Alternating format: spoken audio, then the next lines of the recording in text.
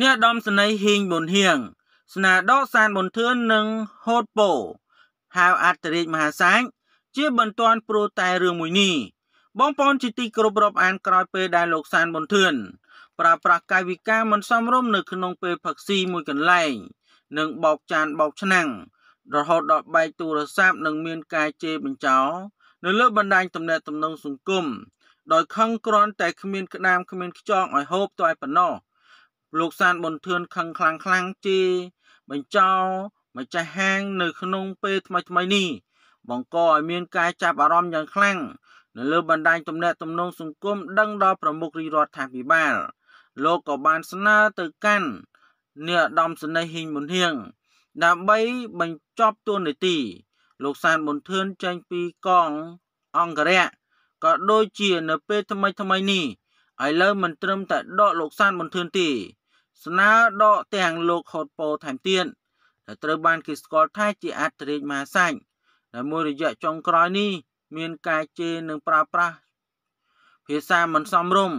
នៅលើបណ្ដាញទំនាក់ទំនងសង្គមជាបន្តបន្ទាប់នោះ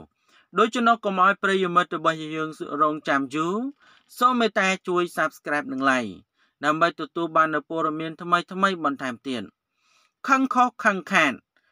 កាន់តែខឹងកាន់តែខាន នៅក្នុងរុស្ស៊ីថ្ងៃទី21ខែសីហាឆ្នាំ2022ក្រោយពេលដែលសម្ដេចតេជោហ៊ុនសែននាយករដ្ឋមន្ត្រី នៃព្រះរាជាណាចក្រកម្ពុជា បានបង្ហោះសារតាក់ទងជាមួយនឹងលោកសានប៊ុនធឿនដែលបានផឹកស៊ីចេញចរិតពីលកោងកាចមិនអាចកែបាន ហើយសម្ដេចក៏បានស្នើឲ្យមានការដកលោកសានប៊ុនធឿនចេញពីក្របខ័ណ្ឌថែមទៀតផង នៅពេលថ្មីថ្មីនេះឯកឧត្តមអ្នកឧត្តមសេនី កតេបណ្ឌិតហ៊ីងមុនហៀងមេបញ្ជាការកងអង្គរៈ